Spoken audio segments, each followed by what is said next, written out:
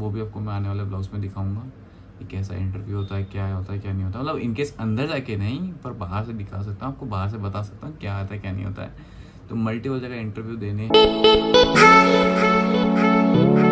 So good morning आज स्वागत है आपका फिर से हमारे चैनल पे। तो आज था मेरा पुश डे और ये जो वीडियो है, मेरे दो दिन की सिमिलिटिव है तो भाई आप देख लेना, पूरी की पूरी डेटा एक साथ कंबाइन किया हुआ है। तो हमेशा की तरह मैंने चालू किया चेस्ट बेंच प्रेस से। बिकॉज़ आज ज़्यादा भीड़ थी जिम में तो बेंच खाली नहीं थे जैसे कि आप देख सकते हो। तो फिर मैंने बेंच पर से चालू किया चलो आज बेंच प्रेस पहले ट्राई करते हैं, उसके बाद हम लोग धीरे धीरे पुश करेंगे।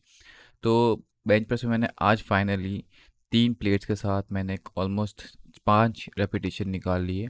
और मैंने प्रॉपर फॉर्म के साथ निकाला तो मेरे को चाहता था कि मैं आठ रेपिटेशन भी निकाल सकता था, पर किसी स्पॉट को या फिर किसी को रखना पड़ता पीछे तो उसके बाद निकाल पाता था आराम से, पर नहीं किया मैंने वो चीज़। बिकॉज़ मुझे चाहिए था कि मैं एकदम अपने दम पे मारूँ। उसके बाद मैंने यह किया कि जो पिरामिड सेक्शन होता है, वो वाला ट्राई किया। मतलब वेट दस दस किलो रिड्यूस करके जितने रेपिटेशन निकल रहे थे, उतने निकालने का ट्राई किया।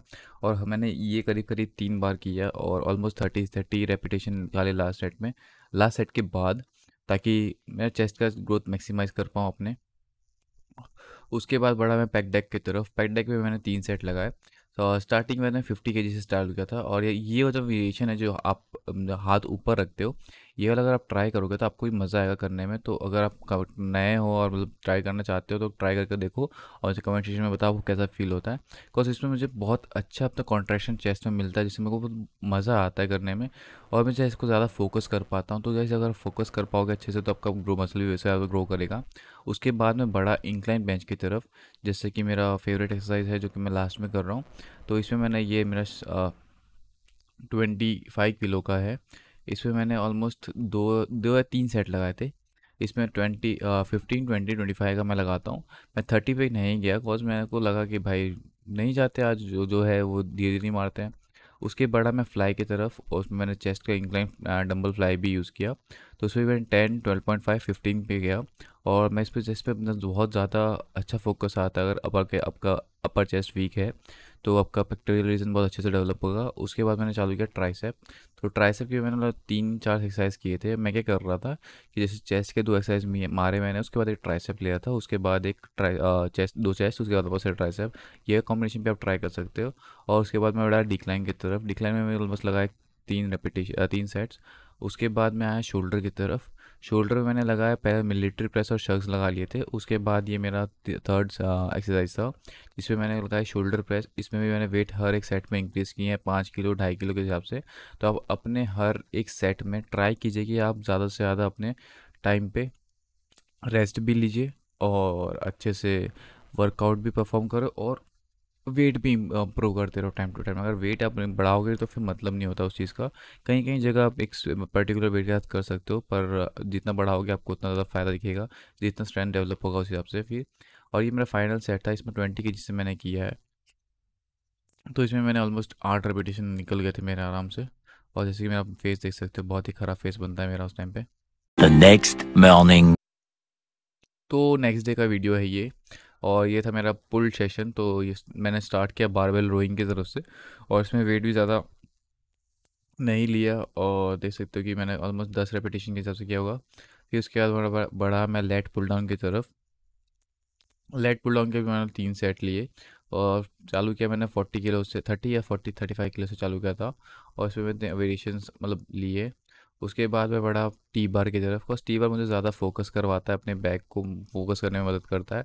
और रियर डेल्ट भी थोड़ा आता है इफ़ेक्ट तो मैं ये ट्राई करता हूँ कैसे मूवमेंट्स करूँ जो मेरे रियर डेल्ट को भी ज़्यादा हीट करे, ताकि मेरा थ्री जो लुक हुआ शोल्डर्स का वो जल्दी से जल्दी आए और रियर डेल्ट भी ग्रो करे। और ये मेरा था फाइनल सेट इसमें मैंने ऑलमोस्ट सिक्सटी किलो का लगा दिया था। फिर इसके भी मैंने ज़्यादा रेपिटेशन निकाले, जितने में से निकले उतने मैंने निकाले और प्रॉपर फॉर्म के साथ निकाले, जैसे कि आप देख सकते हो। इसके बाद मैंने क्या किया कि इसको धीरे धीरे ड्रॉप सेट करना चालू किया और लास्ट मैंने किया और अपना डेडलिफ्ट जो कि फेवरेट एक्सरसाइज है तो मैंने इसमें स्टार्ट किया फोर्टी के जी फोर्टी के जी मतलब सिक्सटी के जी से स्टार्ट किया और ऑल द वे मैं गया ऑलमोस्ट हंड्रेड किलो तक गया था। और इसमें ज़्यादा रेपिटेशन निकालने का ट्राई किया, पर जैसे कि आप देख सकते हो कि मैं स्ट्रगल कर रहा था तो फिर मैंने ज़्यादा पुश नहीं किया उसके बाद। तो ये था मेरा पुश सेशन जो कि मेरा बैक का था फुल सेशन बैक के लिए। यहाँ पे आप ज़्यादा से ज़्यादा वेट पे फोकस करके जितने रेपिटेशन अच्छे से निकले, उतने निकालें। ज़्यादा से ज़्यादा वो मत करें कि भाई मुझे वेट ज़्यादा डालना है। यहाँ पे मेरे से वेट जितना उठ था, मैंने उतना उठाया और ज़्यादा नहीं किया। फिर उसके बाद मैं बड़ा अपने बाइसेप्स की तरफ़ तो ये मेरा हेमरकल्स जो मैं मारता हूँ, उसमें तीन सेट लिए थे मैंने। और उसके बाद मैंने बाइसेप का भी एक बाइसेप्स भी किए। जो कि था प्रीचर कल।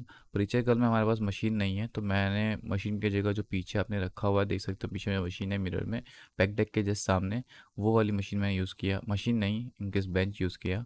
वहाँ पे आप डंबल प्लेट्स लगाइए और अपने उस हिसाब से कीजिए। पर इसका भी मैंने प्रीचर कल का एक हैक निकाल लिया तो आप कार में वीडियो दिखाएँगे। ये है मेरे प्रीचर कल का इसमें मैंने तीन सेट लगाया पर रिकॉर्ड मैंने एक ही किया। और मैंने वेट पे ज़्यादा फोकस नहीं किया बिकॉज़ मुझे चाहिए कि मेरे को फोकस करना था। और जैसे कि आप देख सकते हैं मसल फाइबर कैसे एक्टिवेट हो रहे हैं उस टाइम पे। A few moments later. We are back from the gym अभी देखो। यही होता है बाल सेट ही नहीं होते हमारे। तो जिम से हम लोग आ चुके थे अभी अभी जस्ट पहुँचा ही हूँ। तो अभी कल की वीडियो है, सिर्फ़ वर्कआउट वाली वीडियो सोच रहा हूँ पोस्ट करूँ, नहीं करूँ, समझ नहीं आ रहा क्या करूँ। तो मैं भी इस साथ के, आज के साथ कंबाइन करके डाल दूँगा।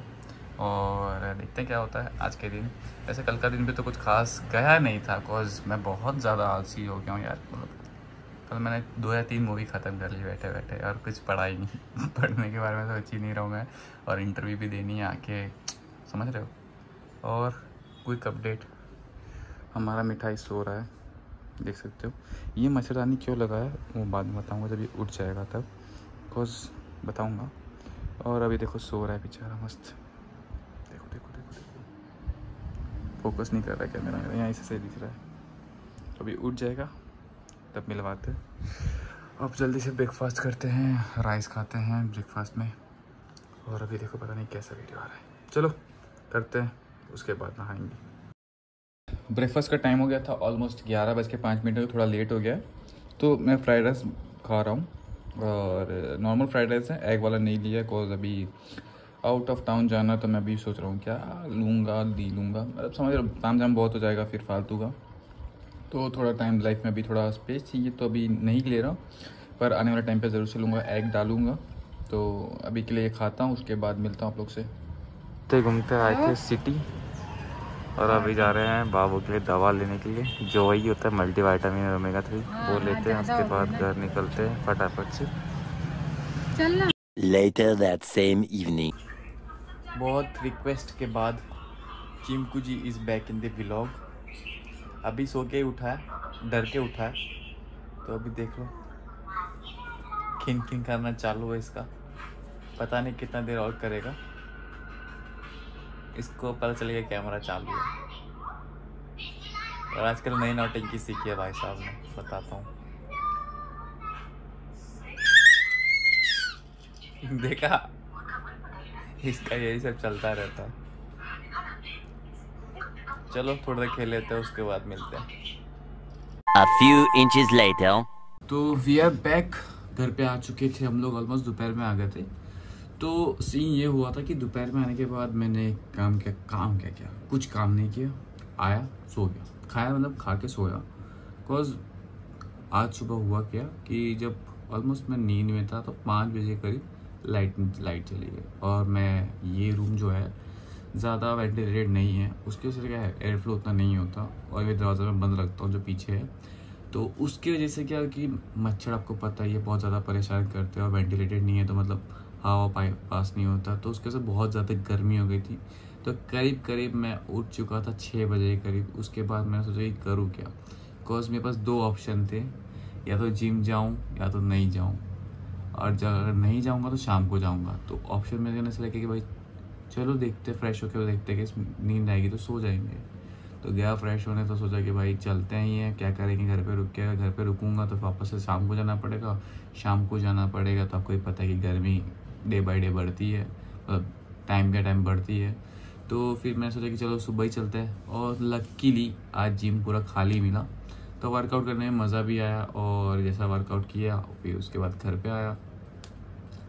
फिर मैं गया बैंक बैंक में एक बहुत ही इंपॉर्टेंट काम था मतलब इनकेस होता है ना कि चेकबुक इशू करना है, कुछ इशू करना है। तो थर्टी फ़र्स्ट को जब मैं बैंक गया था तो मैंने चेकबुक इशू करने रखा था। वो चेकबुक इशू नहीं हुआ। अब तक मतलब करंट डेट है ग्यारह तारीख को, आज जो रिकॉर्ड कर रहा हूँ तो ग्यारह तारीख तक अभी तक डिस्पैच तक नहीं हुआ है। और उसको आने में कब तक टाइम लगेगा, नहीं पता। तो ऑलमोस्ट ग्यारह दिन हो गए एक चेकबुक को आने के लिए। चलो, जो टाइम लगा, वो लगा। पहले ही बता देते तो हम लोग चेकबुक उसी टाइम इश्यू कर लेते तो जो काम था, वो ख़त्म हो जाता। बस चेकबुक मेरा नहीं था तो समझ लो, जिसका भी होगा वो बताना ज़रूरी है। तो ये बैंक का काम था। फिर जैसे बैंक प्रीमाइसिस के आप बाहर निकलते हो तो देखो, एक दो टाइप की सिक्योरिटी होती है। एक बैंक बैंक के अंदर बैठी होती है और एक बैंक के बाहर बैठी होती है। तो मोस्टली बैंक्स में ऐसे ही होता है, जहाँ तक मैंने देखा। तो जो पीएनबी है, उसमें क्या है कि बैंक के अंदर ही सिक्योरिटी है और बैंक के बाहर कुछ भी हो जाए बैंक की जवाबदारी नहीं। बाकी बैंक के बाहर ही एटीएम है। तो हुआ कि जब मैं और मेरी बहन निकले, बैंक से हम लोग बाइक से गए थे। तो जो होते हैं ना, जो मांगने वाले होते हैं इनकेस तो मैं नो ऑफेंस मांगो आप नो ऑफेंस पर उसमें क्या होता है कि पहले एक ने देखा, उसने मांगना चालू किया। और उसकी एज ज़्यादा से ज़्यादा होगी ट्वेंटी टू ट्वेंटी फाइव या फिर ट्वेंटी फाइव टू थर्टी के बीच में होगा, ठीक है?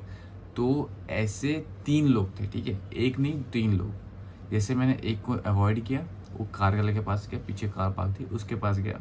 फिर उसके पास नहीं मिला तो भाई दो जन ने मिल के तीन जन ने मिल के घेरना चालू किया। तो ये चीज़, चलो वो कुछ किया नहीं, उन्होंने बात अलग है, पर ऐसी सिक्योरिटी होनी चाहिए कि ये सब बैंक प्रीमाइसिस के अंदर ऑन वर्किंग आवर्स तो नहीं आना चाहिए। पर ये भी फिर भी सही है, उन लोगों ने क्या किया, क्या नहीं किया, नहीं पता, पर हम लोग वहाँ से निकले, फिर वहाँ से सारा काम किया ऑलमोस्ट एक डेढ़ घंटा लग गया था। तो वो काम करके आया, फिर अभी मैं थोड़ा सोचा कि वीडियो शूट करूँ तो मैंने सोचा कि चलो भाई, एक बार में शाम को विस्तार से बताएँगे क्या है, क्या नहीं है। बिकॉज़ वीडियो शूट करने की भी इच्छा पता नहीं हो रही, नहीं हो रही। गर्मी इतनी होती है ना कि मन ही नहीं करता। आज जिम में भी सेम सीन हुआ था। जिम में लाइट नहीं थी। मतलब जिम में घर पर एरिया वाइज लाइट थी, बस जिम में लाइट नहीं थी। शायद सेकेंड फ़ेज़ में होगा या कुछ डिफरेंस था। तो उसके साथ लाइट नहीं थी तो पानी नहीं था, पानी नहीं था तो फिर आप समझ रहे हो, जैसे स्वेट करते हो तो आपको गर्मी ज़्यादा लगती है तो आप अपना हंड्रेड परसेंट नहीं दे पा रहे हो बिकॉज़ गर्मी भी लग रही है और हवा भी नहीं चल रही तो आपको भी लगता है कि भाई बॉडी के ज़्यादा स्ट्रेन करती है एनर्जी तो फिर नहीं कर पाया उतना, पर किया जितना हो सकता था। फिर उसके बाद मैं अभी चिमकू, आपको देखा चिमकू। मैं उसके दोपहर को आके बहुत सोया बिकॉज़ अभी क्या हो रहा है कि मेरा पाँव में ना नी के नीचे से बहुत ज़्यादा मतलब पेन उठ रहा है। पता नहीं किस बात का पेन है, पर बहुत जितना रेस्ट ले रहा हूँ, उतना कम है। और मैं इतना ज़्यादा प्रोकास्टिनेट कर रहा हूँ खुद को, जो भी काम है उसको टाल रहा हूँ। अभी मेरा सीन ये है कि मैं अभी डेवलपर बनना चाहता हूँ। तो अभी मैं क्या कर रहा हूँ कि रोज़ सोचता हूँ कि भाई मैं इतना पोर्शन कवर करूँगा। इतना पोर्शन क्या चालू करूँगा? चालू करने के लिए मुझे आलस आ रहा है यार। पता नहीं किस बात का आलस है। तो अभी इस आलस से भी निपटना है और आप लोग को वीडियोस भी प्रोवाइड करनी है टाइम टू टाइम तो मतलब बहुत सारा बर्डन है और ये क्या कि एक चीज़ अगर ख़राब होती है तो उसके से लगातार पीछे वाली चीज़ें ख़राब होती है। जैसे प्रीमियर प्रो क्रैश हुआ, उसके बाद द विंची रिजॉल्व देखा। दी विंची रिजॉल्व का मुझे एडिटिंग सीखना था, वो भी मैं टाल रहा हूँ। अभी तक वो भी नहीं किया। अब ये वीडियो मैं कब एडिट करूँगा, मुझे ये भी आइडिया नहीं है। बिकॉज़ पता नहीं इम्पोर्टेंट इंटरव्यू देना चालू करना पड़ेगा। वो भी आपको मैं आने वाले ब्लॉग्स में दिखाऊँगा कि कैसा इंटरव्यू होता है, क्या होता है, क्या नहीं होता। मतलब इनकेस अंदर जाके नहीं, पर बाहर से दिखा सकता हूँ, आपको बाहर से बता सकता हूँ क्या आता है, क्या नहीं होता है। तो मल्टीपल जगह इंटरव्यू देने हैं तो अभी नया फ़ेज़ चालू होने वाला लाइफ का स्टूडेंट लाइफ ख़त्म, अब जॉब लाइफ चालू होगी। तो देखते हैं अभी क्या सीन रहेगा। अगर जो भी रहेगा, आपको पता चलता रहेगा वीडियो में। पर वीडियो बनाना छोड़ूँगा नहीं बिकॉज़ वीडियो बनाना पैशन है अपना साइड पैशन है इन सेंस कि था यार क्रेज़ था। बहुत सारे ब्लॉगर्स को देखा है कि भाई काम के साथ साथ कंटिन्यूटी में ये करते हैं। तो मैं अभी क्वेश्चन है कि भाई ब्लॉगिंग करता रहूँ तो ये करेंगे हम लोग कंटिन्यू तो वीडियो कैसी लगी मुझे कमेंट सेक्शन में ज़रूर से बताना। अगर चैनल अच्छा अगर वीडियो अच्छी लगी तो प्लीज़ लाइक बटन दबा देना और सब्सक्राइब बटन दबा देना और बेल नोटिफिकेशन ऑल पे सेट करना भूलना मत गाइस बिकॉज़ हम लोग बहुत ही करीब करीब हम लोग पचास सब्सक्राइब के बहुत करीब है और सौ भी जल्दी करवा दोगे आप लोग, मुझे पता है तो प्लीज़ करवा दो यार। अपने दोस्तों को सब सब जगह शेयर कर दो। एक बटन जाएगा आपका, एक मिनट लगेगा शेयर करने में तो कर दो यार। तुम्हारे भाई का चैनल ग्रो करेगा तो फिर एक चैनल ग्रो करता तो कम्युनिटी बिल्डअप करेंगे कम्युनिटी बिल्डअप करेंगे तो मतलब समझ रहे हो? चीज़ें अवेयरनेस जो भी है वो फैलाएँगे और आपको भी मज़ा आएगा हमारे साथ जुड़ के। तो शेयर कर देना अपने दोस्तों के साथ। मिलता है हमारे वीडियो में। Till then guys take care bye bye